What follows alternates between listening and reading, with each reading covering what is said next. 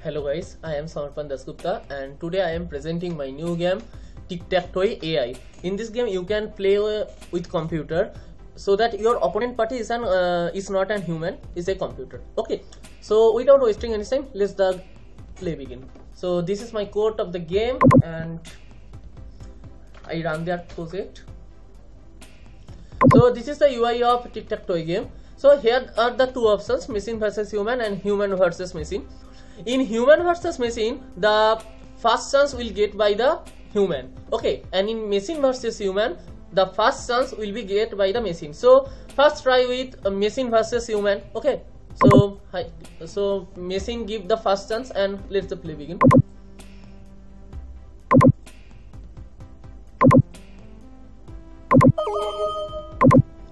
So you can see that you can see that uh, game draw the game is draw here. You can see that the game is totally draw. So now i want to reset this game. Okay. And let's play with human versus machine. Okay. So let's start from here. So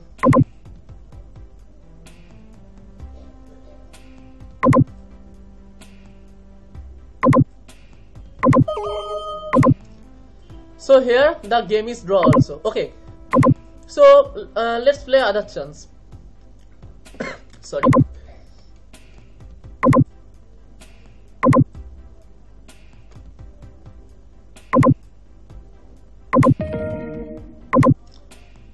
Here you can see that game over computer is winner. Here the matching uh, line. Okay here the matching line the computer is winner. Okay so let's play with machine versus human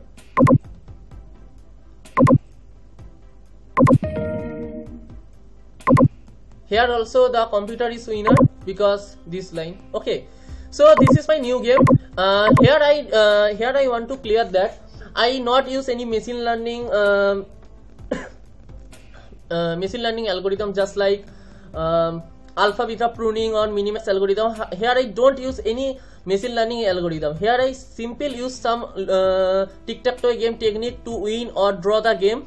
So if you want that i want to if you want uh, i'm uh, i should uh, explain the logic of that game? Please uh, mention in the comment section. I will make a separate video uh, in how i make a uh, tic-tac-toe game computer versus uh, human without uh, applying any machine learning logic or machine learning algorithms.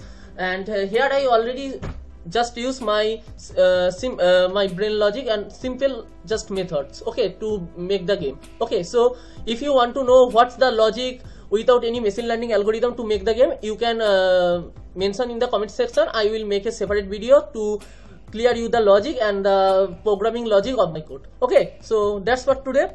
Have a nice day. Bye